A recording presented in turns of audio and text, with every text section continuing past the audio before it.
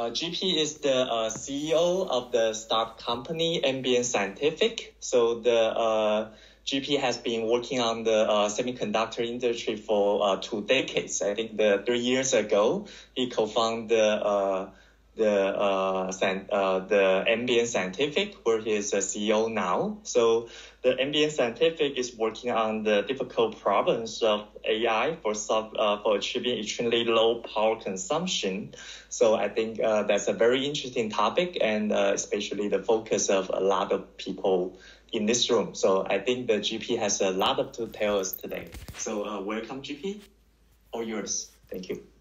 Thank you very much, first of all, for inviting us. Uh, we are very excited. Actually, what we are going to show you um, that a lot of concepts that you heard in uh, uh, in Burr's presentation, we actually have made it possible. I mean, we being a startup are focused on solving the current problems but we have also achieved a lot of uh, um, the concepts that are presented in the previous two, uh, two presentations. So let me talk about them. I have only 10 or 12 minutes, so I'll try to go quickly and show you what we have been able to do. We'll probably not have time to show how we have been able to do as the, uh, you know, the other two uh, presenters were able to show it to you. Um, for battery powered devices, the, uh, both the previous speakers focused a lot on energy efficiency of uh, doing AI computing, and no one needs AI computing um, uh, efficiency more than the devices that are battery powered. When we talk to customers, these battery powered devices are really, really dying to get the power or the cap- uh, capability of AI but there are no good solutions today. A lot of good research work is going on, as you also saw. But the current solutions, which uh, are uh, which provide AI to a lot of these uh, uh these uh, devices that you uh, hold in your hand, or you wear in your ears, or somebody wears for the Medicare or for the healthcare devices, they all have a sensor chip that communicates the data from the sensor all the way to data center to the cloud where the inferencing or the AI training is done, and then that results are sent back. Now these mechanism, mechanisms are unreliable, they take a lot of time, and more importantly, they are very expensive.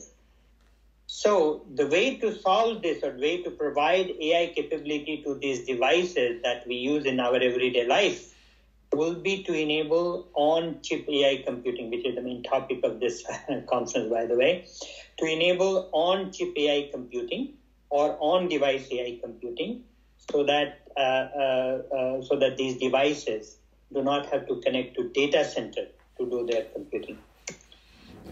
We have made it possible, and I will repeat, we are using a lot of concepts that uh, have been discussed in these two uh, um, papers uh, except we are using more industry standard or industry available uh, processes and industry available manufacturing.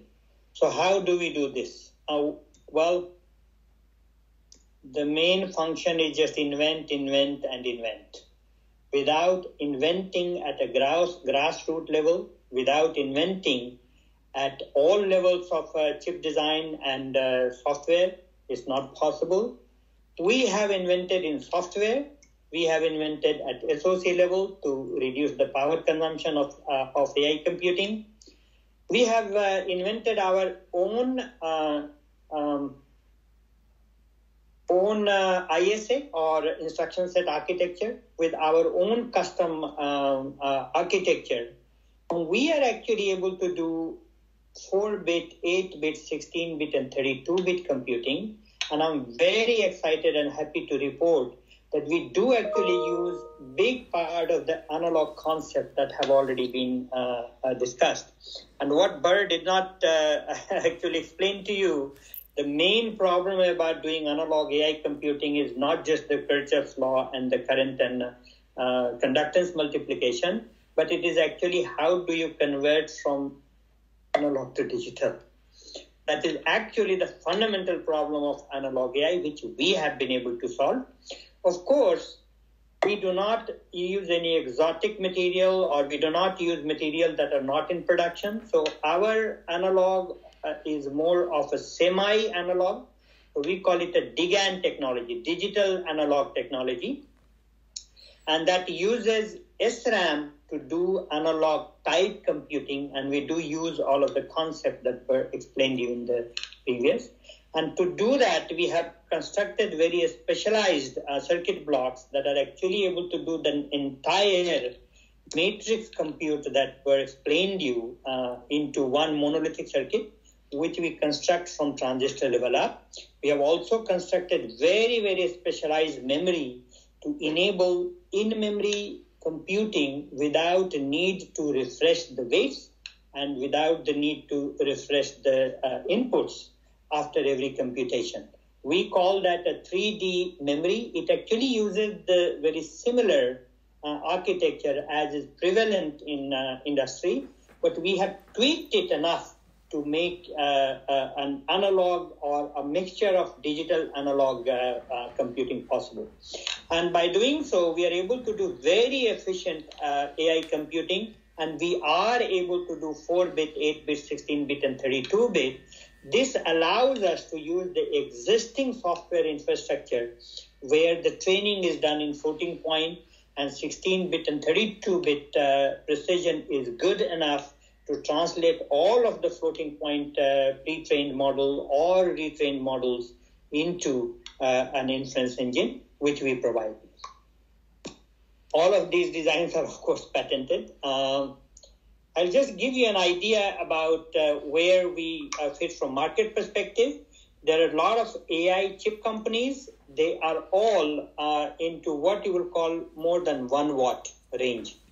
On the x-axis here, you see uh, many applications that I have uh, plotted: uh, training, automatic driving, and small servers going all the way to small sensors like our headphones or our heart rate monitor or ECG monitor or a, um, or a fall detection or a sports uh, analysis.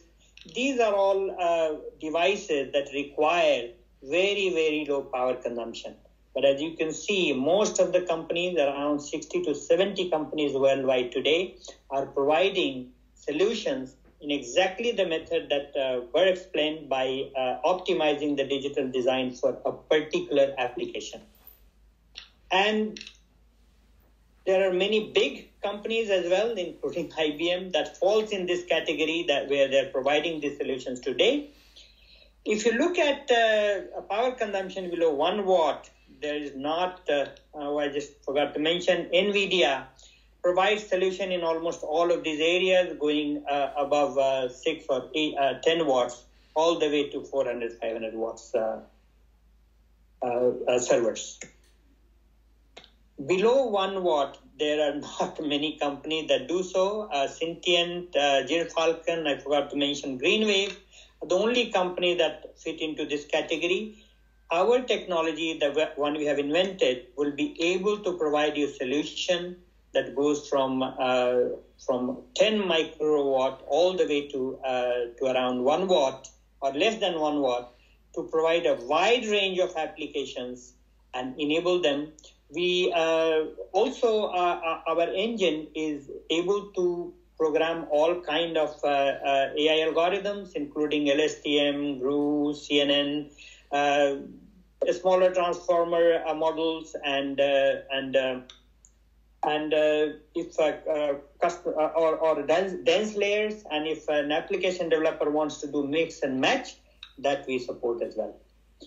Uh, we will be uh, so we are an ai processor company that is fully programmable and able to cover all of these uh, application areas our first product i will just show you for uh, all of you to see this is already there it has started shipping to to some customers with the development kit, which I'll show you here. This uh, is the entire development kit that lets you uh, measure power consumption, lets you measure performance, lets you develop your entire application.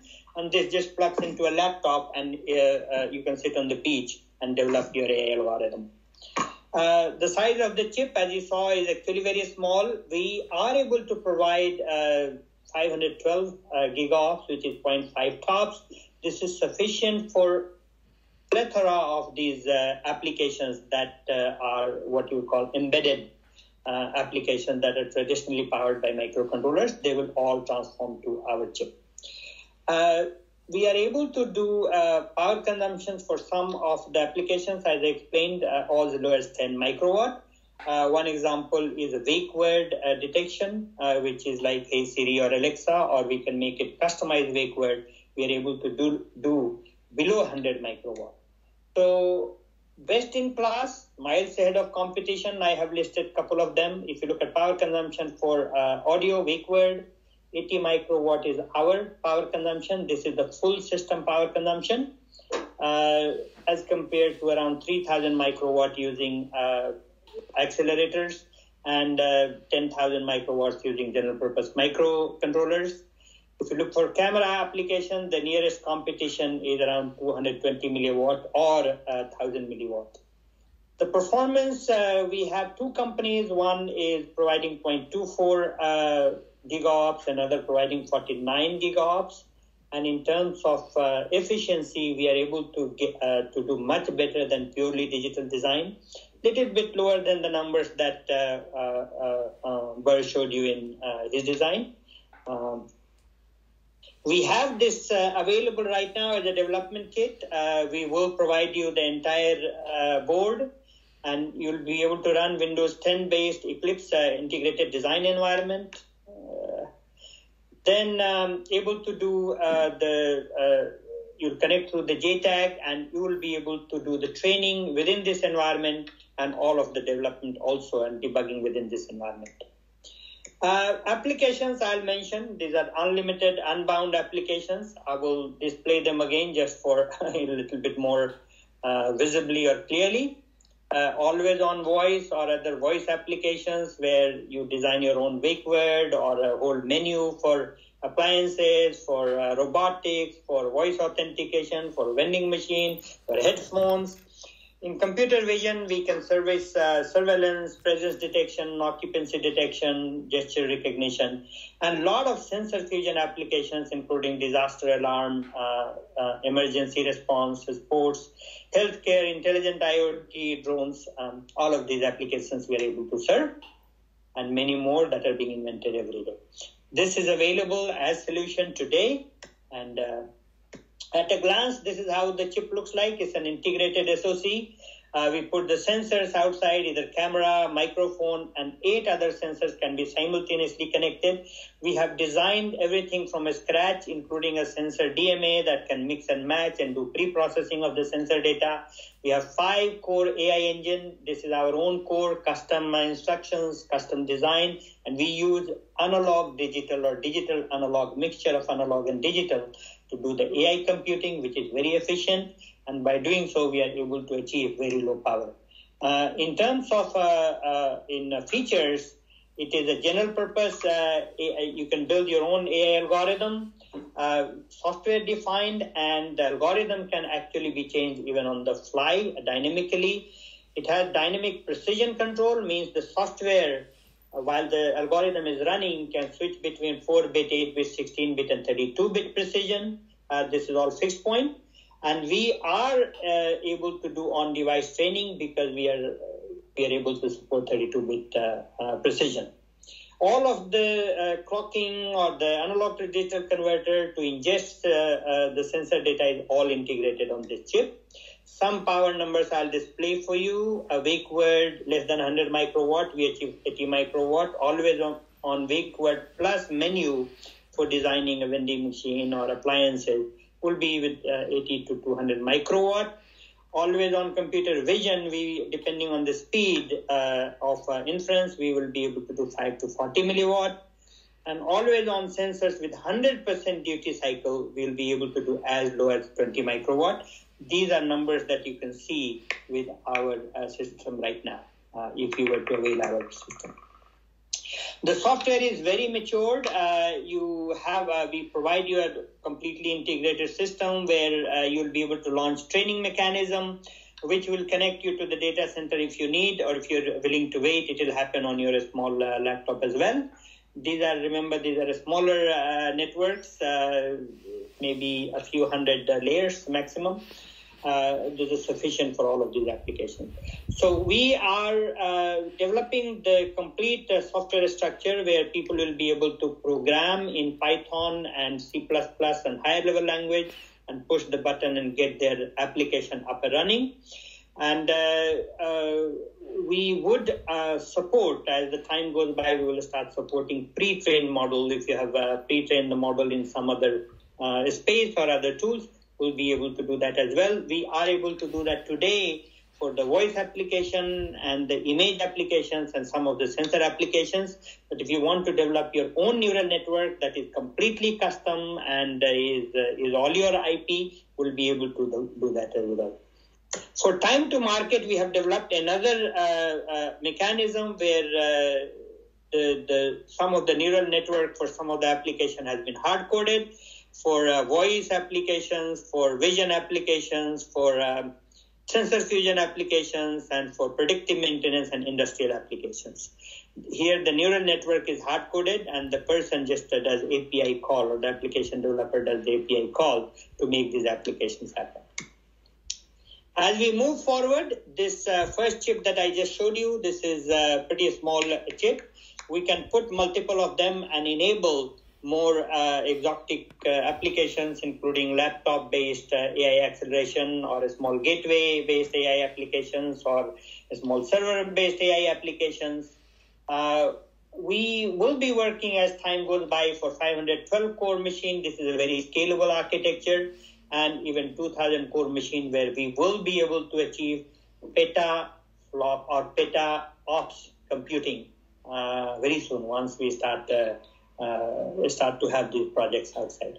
Right now, we are uh, we have this in hand. is 40 nanometer chip built in TSMC and is able to achieve the wattage that I just showed. I will summarize, lack of time. Uh, as I said, uh, we'll tell you what, what we do. Don't have time to explain how we do it, uh, except that one slide. Uh, we have made battery powered AI computing possible. Full stack software solution is available. Uh, we have done breakthrough innovations at many levels, more than 50 patents um, and more to go. and we have first product already in sampling and very rich software infrastructure to help you develop your application. That's it. I try to keep it very short. And if we have time for questions, I'll be more than happy to answer. If uh, not, just write me an email or our team will be more than uh, willing to support you. I think due to the uh, time limitation, I will that uh, our audience just send you the question that I have. Thank you very much. Thank you. Let's uh, thank, thank for GP once again. Okay, so the